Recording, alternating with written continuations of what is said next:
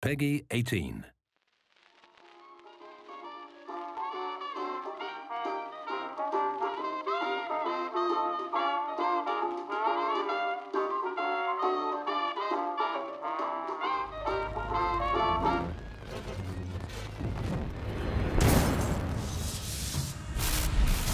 How long do you say this place has been abandoned?